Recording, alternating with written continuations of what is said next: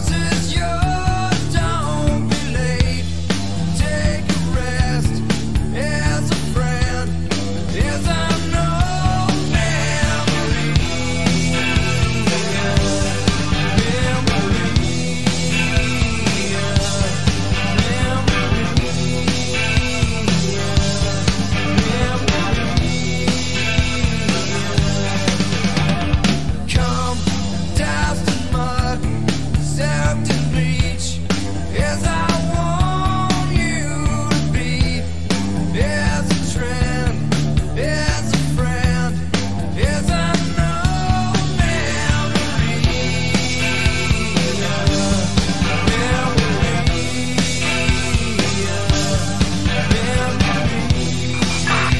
Here we have a Grand Theft Auto in progress and Morning one.